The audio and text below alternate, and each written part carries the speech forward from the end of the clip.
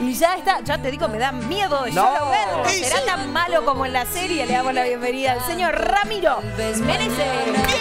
¡Bienvenido, Ramiro! Aplausos para ustedes. ¿Cómo estamos, Ramiro? Buenas tardes.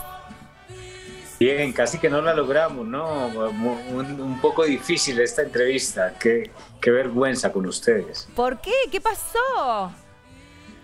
Porque llevábamos mucho tiempo tratando de lograrlo, pero se volvió imposible por, por tanto trajín, tanto trabajo. Pero bueno, lo logramos, aquí estamos. Qué bueno, estás con mucho trabajo porque estás también ahora participando de un éxito, te diría, internacional. En todos los países que está, lidera como Masterchef. Le va, le va súper bien. La verdad es que yo siempre tengo, tengo algo que hacer, algo, si, si, si, si no tengo algo que hacer, lo invento. Claro. Entonces, entonces estoy completamente copado. Pero, pero bueno, abrimos el campo y mira, aquí estamos, por Qué fortuna. bueno, espectacular. Y nosotros estamos felices de, de tenerte, pero decíamos, ay, Dios mío, serás tan malo como en la serie porque sos el más malo de todos los malos que he visto, ¿eh? No, es un personaje muy bien elaborado que hace que sea lo suficientemente creíble y malo como para que la gente entienda eh, no solamente lo que ven, sino lo que no se ve de los personajes. Usualmente cuando uno elabora un personaje, la gente ve eh, cosas muy obvias. El personaje de café está elaborado para que se vea lo que no se puede ver lo- todas esas emociones, los cambios de ritmo, eh, un trabajo con la voz, eh, una elaboración metódica paso a paso para que el personaje tenga muchísimos cambios y vaya, vaya saltando de escena en escena hasta tener un desarrollo mucho más lógico que, que lo que usualmente ve uno en, la, en las series, en la televisión, ¿cierto? Es, es un personaje muy bien elaborado, la verdad es que me tomé mi tiempo para hacerlo. Ramiro, cuando uno arma un personaje, siempre se va nutriendo, va copiando, en este caso vos decías con mucho tiempo de, de antelación, estudioso, y copia de, de alguno. ¿Le llamaste a algún pariente malo de verdad y le dijiste, tengo que armar un personaje muy malo o a alguien o no? Para que te No, algún nunca. tip. No, no, no trabajo así, eh, no, no me gusta trabajar con referencias. Ajá. Eh, casi siempre pienso que el malo soy yo, que el asesino soy yo, el bueno soy yo, el amante soy yo, el, enamorado soy yo, el que pierde la cabeza por amor soy yo. No, no necesito la referencia de otra persona porque, porque estaría eh, dedicándome a otra cosa, hacer una copia, hacer, hacer un, una elaboración a partir de... Eso, eso tiene un nombre, ¿cierto? A imitar. Claro. Soy malísimo imitando, soy muy malo imitando, pero soy muy buen observador. Yo creo que realmente mi fortaleza es que cuando yo empiezo a elaborar un personaje, trabajo mucho con la observación, cómo vive el mundo, cómo vive el mundo en, en mi exterior. Y a partir de ahí viene una cantidad de situaciones, de capas, eh, viene toda una elaboración de la parte psicológica, de lo que trae el libreto, porque yo no me estoy inventando nada, esto, esto no me lo inventé yo. Ramiro, Eh, ¿cómo fue el paso, digo, de ser eh, ese personaje malo de Carlos Mario a Masterchef, Masterchef Celebrity, perdón, que es tu, tu verdadero voz, digo, que, que pasás a ser una persona mucho más cercana quizás a la audiencia? ¿Cómo lo sentiste con, con tu audiencia? Bien, la gente le tiene mucho miedo a, a llegar a Masterchef, eh, porque claro, se ven ahí mismo en la cocina, es el trajín, son los compañeros, uno no sabe cómo va a responder. Usualmente uno tiene la tendencia a hablar ligero y hablar de más de los compañeros o hablar en, en voz eh, pequeña cuando hay una cantidad de micrófonos Claro. muy grandes que, que visualizan inmediatamente y te dicen, hey, pilas con lo que dices. Tienes Claro. que tener muchísimo cuidado. ¿Y vos cómo te Pero llevabas yo- con la cocina de antemano? ¿Eras bueno cocinando? A mí me va bien, no me, no me, me va muchísimo mejor después de Masterchef. pero, pero me va muy bien cocinando. Digamos que pues, pues, soy un hombre que ha vivido mucho tiempo solo, entonces tengo, tengo la oportunidad de cocinar bastante y he vivido en, en otros lugares del mundo, entonces me permite también como conocer otras culturas. Eh, pero eh, yo, la gente le tiene miedo a mostrar en Masterchef lo, lo, lo que es y al contrario, lo bueno es que uno pueda mostrar lo que es. Eh, es como un miedo al ridículo o un miedo al ego o, a lo que uno quiere que la gente piense. Que, y es que no se refugia detrás de un personaje si no estás mostrando tu todo, digamos. Ahora, ¿con qué se levanta más, Ramiro? ¿Con la actuación o con un buen plato de comida? ¿Con qué seducís? Estamos, hablando de plan levante. Plan levante, claro, alguien que te gusta. Una cita, una primera cita.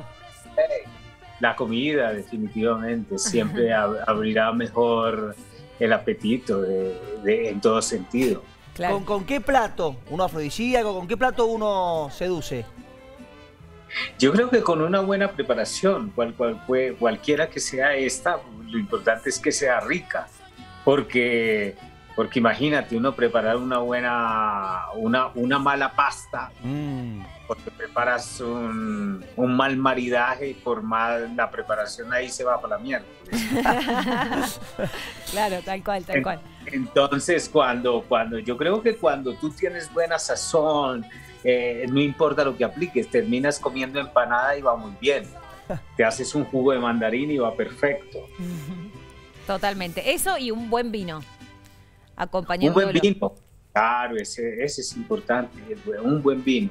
Pero la pasta creo que es una compañía que, que, no falla.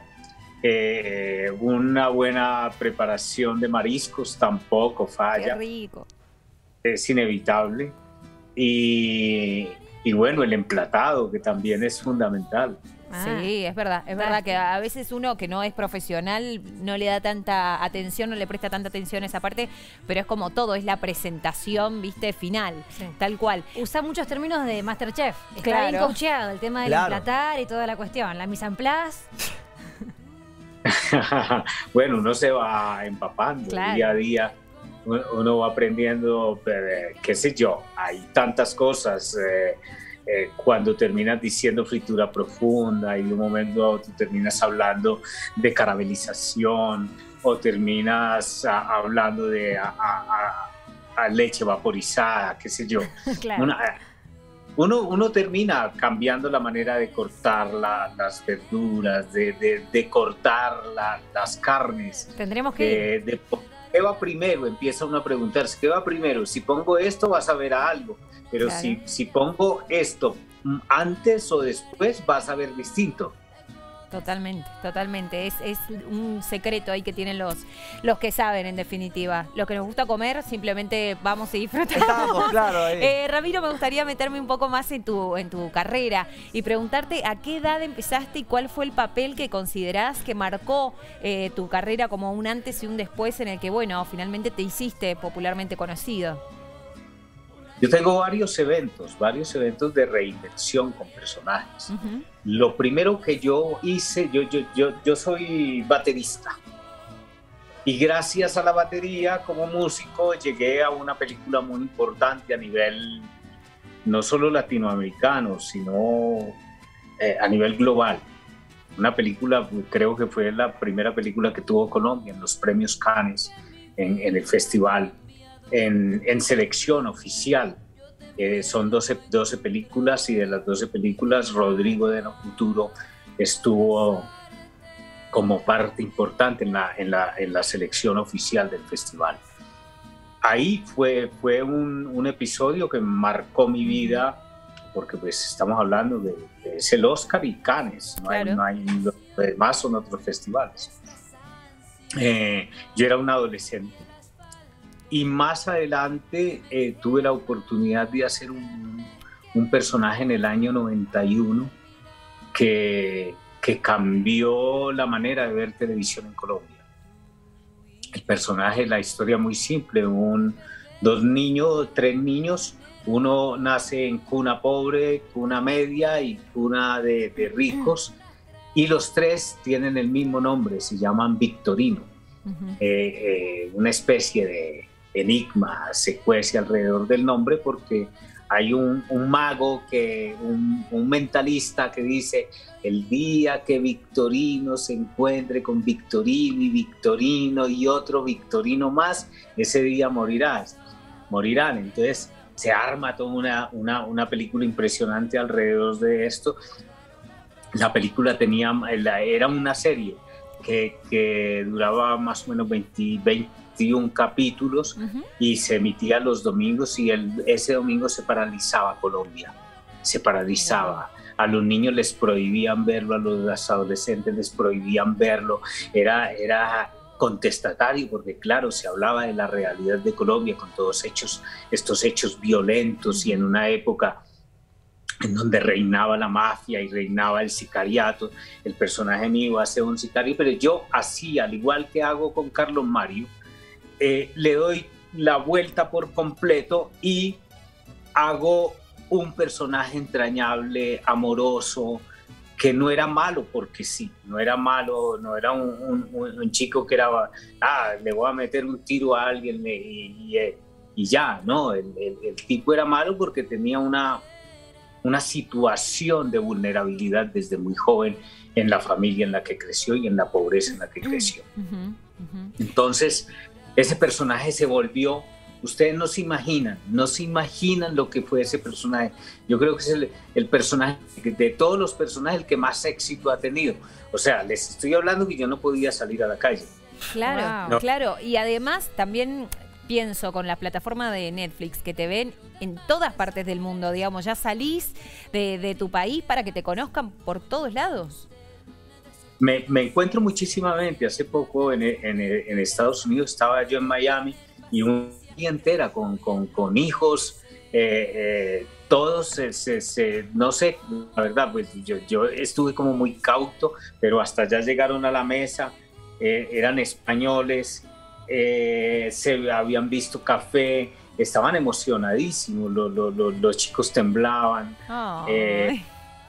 Fue, un momento muy bonito y me encuentro gente de República Dominicana, Costa Rica, Argentina, Ecuador, Brasil, eh, España. En España es un éxito. Y en Estados Unidos, en inmigración, cuando yo voy entrando, eh, de los agentes de inmigración toma- querían tomar la, la, la, la selfie, La selfie. también. ¿Y te gusta esa fama? ¿Cómo te llevas? Sobre todo en Colombia, digo, donde eh, ha sido un boom y, y ha explotado tanto. Eh, digo, al principio me imagino muy lindo, pero después eh, tanta exposición o, o tanta foto, eh, ¿cansa un poco? ¿Lo has eh, aprendido a llevar? ¿Cómo, ¿Cómo te manejas con eso?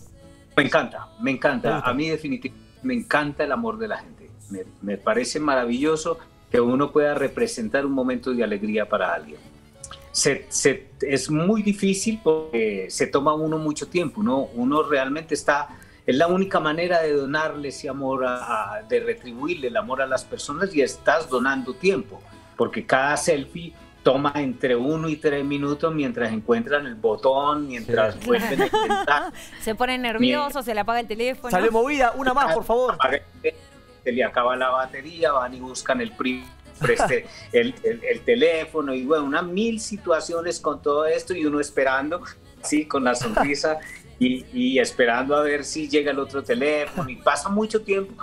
No puede tardarse, eh, si bien a una, una aula de fanaticada, estamos hablando que, que, que llegan mm, 15 personas y entre 15 personas pasa media hora en el aeropuerto tomándose la foto. Claro. Entonces, Tiene que ir eh, cinco horas yo- antes. yo- ¿sabes? he aprendido a llevarlo con calma, he aprendido a decir, bueno, gracias a todas estas personas, yo estoy donde estoy, valoran mi trabajo, son felices viéndolo, pues calma y que no me deje el avión.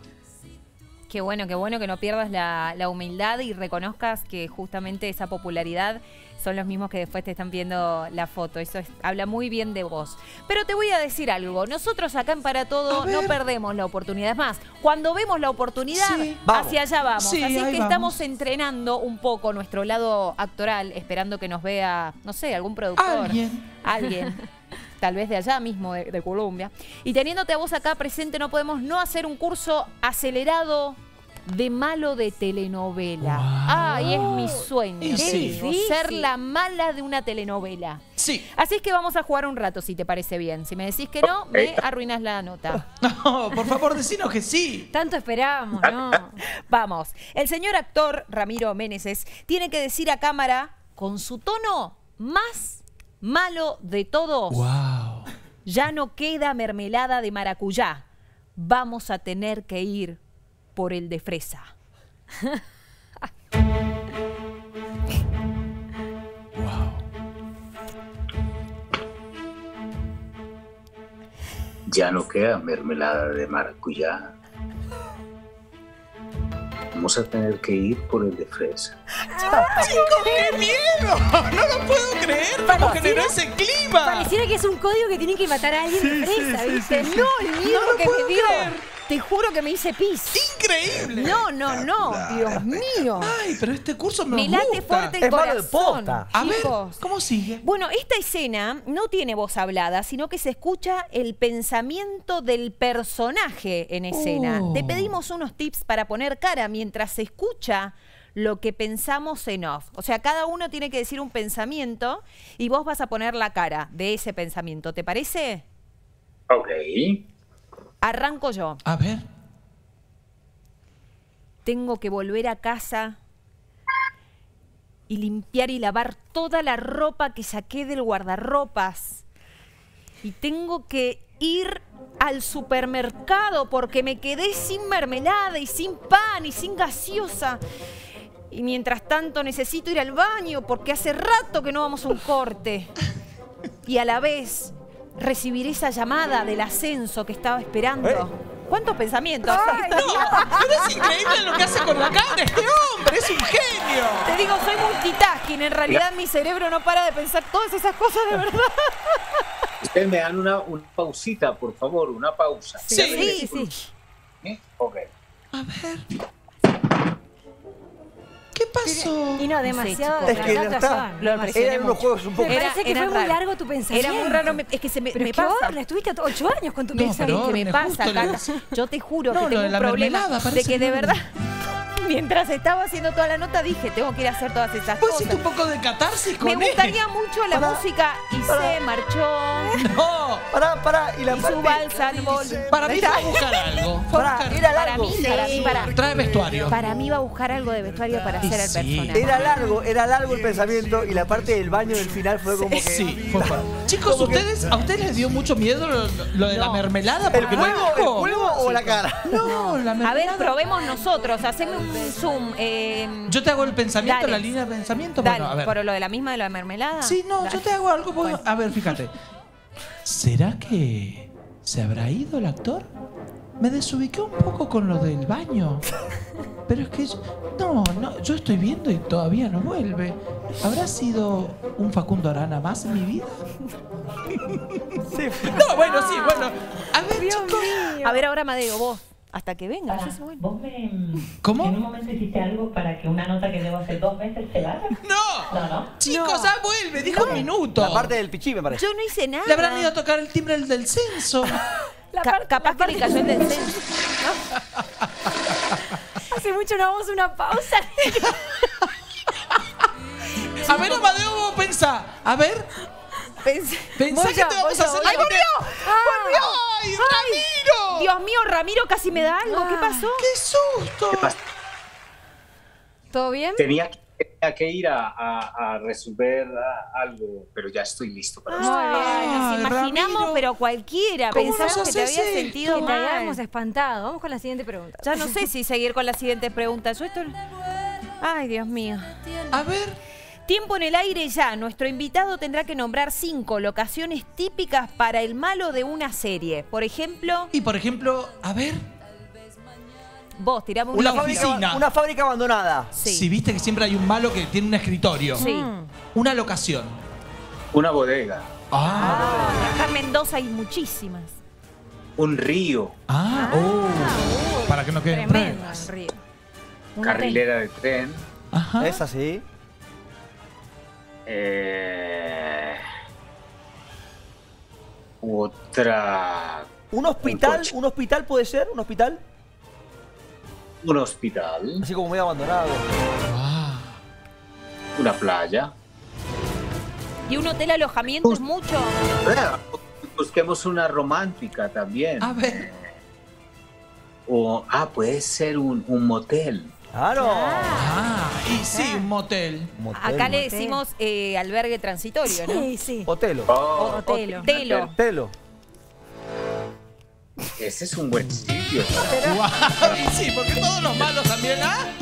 Y además dice, es un buen sitio, y lo dice sexy, ¿entendés? sí, él, es- él tiene bueno. todo. Ah, sí. ¿Vos, vos sos sexy, sos o es como tu personaje Sí. así. ¿O te consideras un tipo sexy? Un Tiene sex un symbol. sexapil. Se lo digo. Ah, yo, yo soy, yo soy. Ah, Ay, pero Ramiro. ¿Sabés cómo se dice acá, Ramiro? Decilo. Beboteo. ¿Cómo? Be- y se nos fue por segunda vez. Beboteo. Beboteo. Beboteo, no, no, no conocía esa palabra. Así, mirá, así más plano cerca, más cerca el plano, me pongo nervioso. Se nos ver, Nosotros- y que después lo haga Ramiro. Pará, me siento Karina Gilinecchi. El beboteo Miren cuando... ustedes, Se va a ir de vuelta, ¿eh? Hay que seducir a cámara. se nos va. Procede a irse el invitado. Beboteo. Mira. Ah. Eh, yo vengo de una región en Colombia que es muy argentina. Ah, ¿Cuál? Donde murió Car- Gardel, de hecho. ah. Sí. Se vive del tango. To- to- todo el tiempo el tango, se habla de voz. Eh, se sabe mucho de tango, de historia del tango. Eh, se idealiza el tango. La gente sabe, les, me atrevería a decirle que a la par que los argentinos. Se, se hablan palabras muy, muy de ustedes. Pero el, Está. pero el beboteo eh, no la tenías, ¿o sí? Beboteo no la tengo. Ah. la- la acabo- La Es que es muy de acá, es muy de acá. claro. Y es muy de ahora, muy de ahora que los pibes lo utilizan. Claro, un modismo muy de acá. Eh, ¿Cómo nos convence Ramiro a cámara que en realidad él no es malo, sino que es un gran actor que sabe hacer de malo? Ah, eso no necesita hacer, si ustedes ya se dieron cuenta. Claro. Ay, sí, nos dimos verdad. cuenta. Sos un genio, Ramiro. Ramiro, te queremos agradecer por la buena onda. Eh, sabemos que sos, pero grosso, absoluto, y que nos hayas dado un tiempito. No importa el tiempo que te tuvimos que esperar, te esperaríamos mucho tiempo más. Porque sos Muchísimo. lo más. Gracias. Y yo volvería muchas veces más. Ay, que nos venga a visitar acá. ¿Cuándo viene? ¿Cuándo viene? ¿Cuándo te venís por Mendoza? A la Argentina. Argentina.